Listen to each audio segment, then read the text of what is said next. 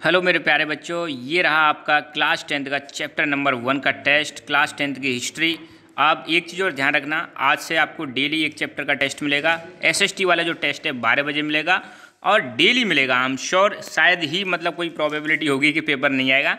तो अभी एक और चीज़ मैं कहना चाहता हूँ प्लीज़ डोंट आस्क कि सर पेपर होंगे कि नहीं होंगे। फ़िलहाल आपको तैयारी करनी है, मन लगा के तैयारी करनी है और ये पेपर आपके सामने है, इसको 60 मिनट के अंदर आपको कंप्लीट करना है, ठीक है? और यहाँ पर लगभग आठ क्वेश्चन है, दस मार्क्स का क्वेश्चन है और यहाँ पर इसको सॉल्व करना है। चाहो तो आप स्क्रीन ले सकते हो, बस इतना सा ही पेपर है।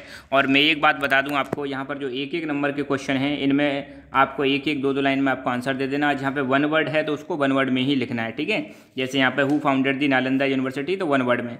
जहाँ पे दो नंबर के क्वेश्चन है तो आप ध्यान रखना, कई लाइन लिख सकते हो, पाँच छः लाइन सात लाइन आठ लाइन कितना भी लिख सकते हो, कोई दिक्कत वाली बात नहीं है, क्योंकि अब जैसे हर्षवर्धन पर लिखना है तो ऐसा नहीं है कि आप दो लाइन में फिनिश कर दोगे, दो नंबर का है तो इसमें आपको डेफिनेटली सात, आठ लाइन लिख दोगे तो कोई बुराई नहीं है, ठीक है? तो और ये कल का मैंने यहाँ पे डाल दिया है। कल जो टेस्ट होगा वो चैप्टर टू का होगा टाइम बारह बजे ही होगा, और यूट्यूब पर आपको अपने आप नोटिफिकेशन मिल जाएगी। नहीं तो आप यूट्यूब पर जाकर चेक कर लेना, बारह बजे एग्जैक्ट आपको पेपर मिल जाएगा, ठीक है?